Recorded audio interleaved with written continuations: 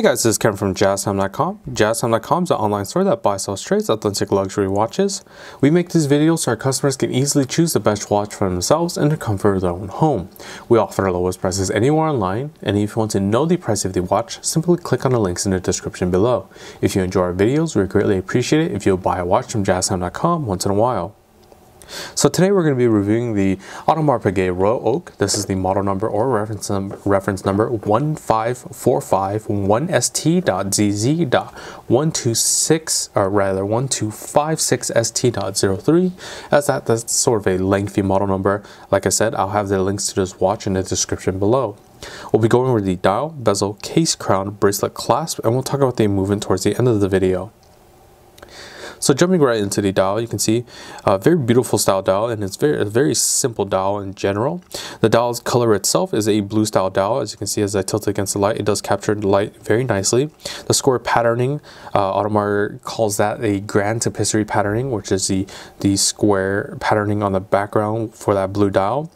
The hour markers themselves are just index hour markers with a landmarking uh, double hour uh, double hour markers at the 12 o'clock position. So it helps uh, with easy easier reading of the dial for that having that additional um, just sort of doubling up on that 12 o'clock position so you can easily uh, tell the watch even if you have the watch down you can just immediately tell the time just by looking at it as so Besides that, the hour markers themselves are just white gold, uh, white gold hour markers. So uh, each in the uh, each individual stick hour marker is um, fashioned in 18 karat in the 18 karat white gold. The hour markers themselves are luminous, so that means they glow up in the dark for up to eight hours. And actually, can show you the luminosity. So I'm going to go ahead and shut off my light here in my light box, and we're going to go ahead and charge up, uh, charge up the those hour markers. And there we are. You can see so I'm gonna go ahead and close it off. You can see very easy to read, uh, very easy to read during the in the dark as well. You can see that beautiful luminosity from those hour marker uh, from those hour markers at 12 o'clock position all the way around, and even on the hour and minute hand as well. You can see that luminosity will help uh, very nicely during uh, during the night. But moving back, moving on. Besides that, we have the date one at the three o'clock position. Uh, three o'clock position there, easy to read. Um, as you can see, it's currently at the 13th. And then we have the Audemars Piguet name at the 12 o'clock position with the AP, uh, the AP logo in the white gold as well. And at the 6 o'clock position, we have the automatic, as this is a self-winding automatic watch. At the very bottom, at the very 6 o'clock position, between the uh, in between the hour markers, we have the Swiss made with sort of uh, stick indices all throughout in between each hour marker as well. So very, very simple dial.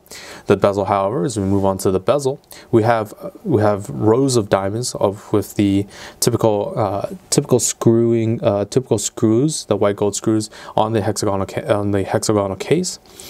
Uh, we have individual rows, uh, individual rows of diamonds, so five uh, five sets of diamonds all around all around the dial for a total of 40 brilliant cut diamonds. The carat weight of the diamonds in total equal to equal to about uh, 90.92 carats or so.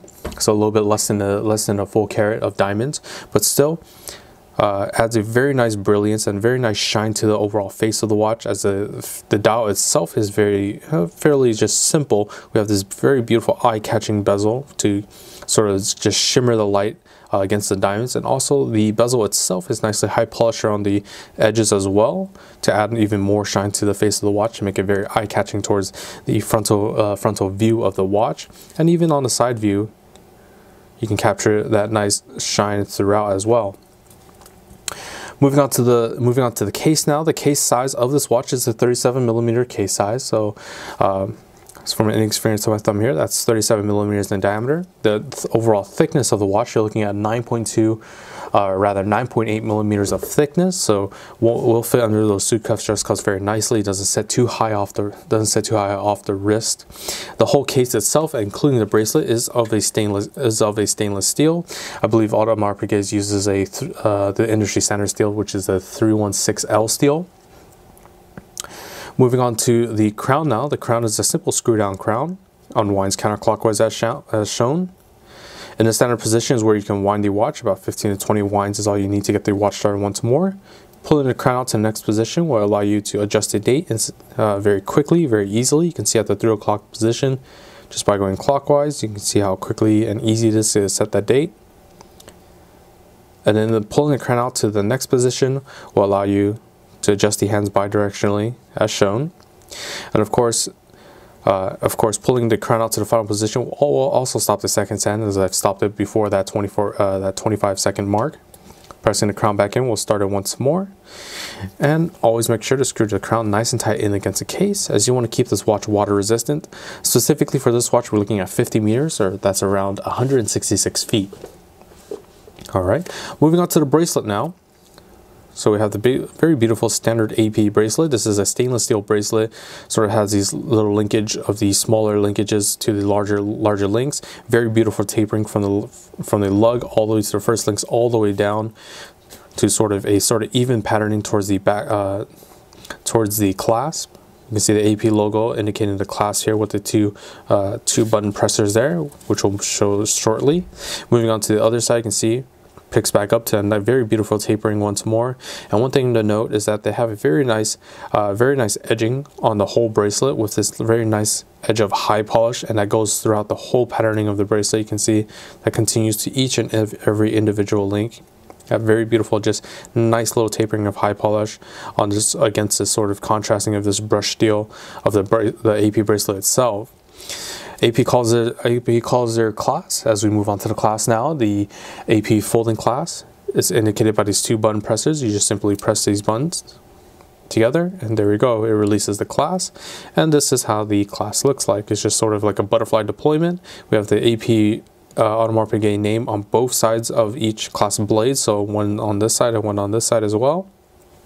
And then simply closing it up Always looking for the bar side first because the AP logo the AP logo has to sit on top of that bar side. And there we go, closes up very nicely. So one more time, I'll go show you again. So the AP side comes off, then the underside. Show you the back side here. That's how it looks opened up. So let me put that back together for you. Bam, side one, side two. There we are, sits down very nicely. So we're gonna go ahead and move on to the case back now. So the case back is an exhibition uh, exhibition case back, so you can actually see the movement in here. The movement that the Audemars Piguet, this Audemars Piguet watch runs is a uh, self-winding caliber 3120 movement. Uh, as you can see, the sapphire the sapphire crystal allows you to see the sort of inner workings of the movement not too much of it though. Uh, mostly what we do see here is this large 22 karat gold uh, oscillating weight. And one little neat thing about the weight itself it actually has AP's uh, coat of arms. Let me just get this a little more in focus here for you. All right so on the there's two sets of coat of arms one on the left side one on the right side. The left side here this one um, this one here is a bird with three stars and a dungeon with a flag and that's the Audemars coat of arms. And the second portion of the name the Piguet is on the right side here their coat of arms being a horse with a horse with a sword and the three stars as well. So it's a little neat a uh, little neat thing there to have very beautiful. You can see uh, just the overall finishing on the movement just looks absolutely gorgeous. Of course on the case back itself you still have that brush that brush steel polishing as this does sit on the top of your wrist but still adding that nice high polish to match with the bezel to keep that shine throughout the uh, sort of shine throughout the sides of the watch. And then of course the screws that hold the screws the hexagonal screws that uh, hold the case back down together goes all the way through the case to hold the case together. You can see that being all around the edge as well. We have the Royal, the Royal Oak name at the 12 o'clock position of the case back there. The movement, the movement itself uh, does have a power reserve. We're looking at a 60 hour power reserve, meaning you can put this watch down on a Friday evening, pick it back up on a Sunday afternoon, and it'll be keeping time just fine. All right, now let me actually go ahead and show you this watch on my wrist. One thing to note is that I do have an average man size wrist. This is more of a ladies, this is more of a lady size watch as it is a 37 millimeter. So it's gonna look a little tight on my wrist. So I do apologize for that. So this is a 30, so my wrist is a seven inch wrist. You can see it does sit a little, it does sit tight on me, but if you're buying this for your lady, then it should be completely fine for her.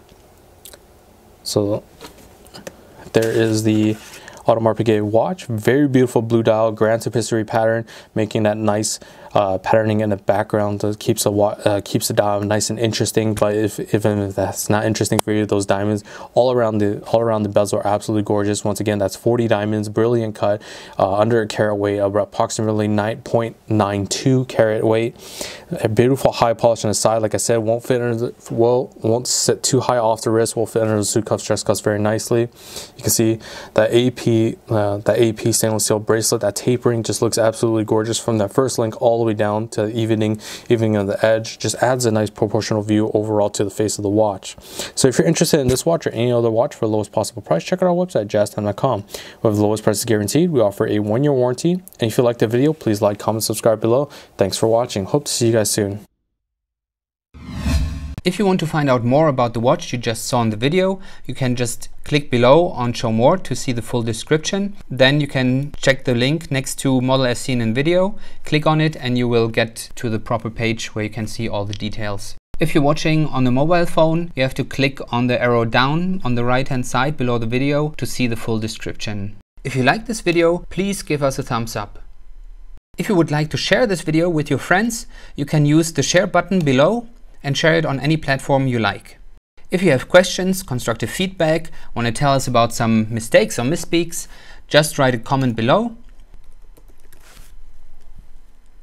If you want to see more videos like this, you should subscribe to our channel and visit our channel page where you can find all the videos and if you're interested in a specific watch brand, you can check out our playlists if you want to check the price for a watch or want to buy one, remember at jaztime.com you always get a steep discount, so you should check the prices with us. If you want to know the price for a specific watch, just go to Google, type in JazTime, plus the brand, model, and the details you're interested in, and Google will find the right page for you. Thank you for watching.